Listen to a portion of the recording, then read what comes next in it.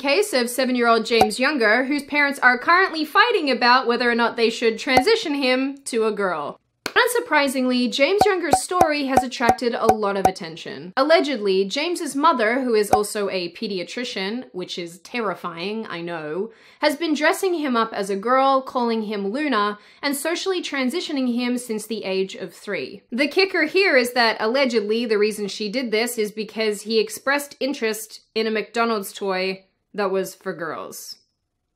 According to news articles on the topic, the mother has also investigated putting her son on puberty blockers and eventually hormones. Unsurprisingly, the father has resisted this and claims that his son 100% identifies as a boy when he's with him, but also wants to wait and see what happens with his son and this whole issue. So yeah, then that eventuated into a custody dispute. But disturbingly, this clip has popped up in the last number of days showing James talking about his mother and how she tells him he's a girl. You're a boy, right?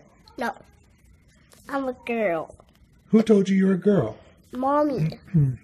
When did she tell you you were a girl? Cause I love girls. Oh, I see. So mommy told you you were a girl? Uh huh. Um, any does mommy um do anything else like with a girl with you? Mm-hmm. Like what? Like kisses. What what does she do? She do put them on me. She puts dresses on you? Oh wow. And what else does she do?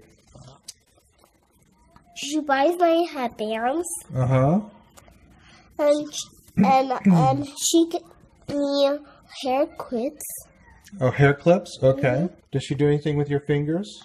Yeah. What? She paints my nails. I mean, if that isn't creepy, I don't know what is.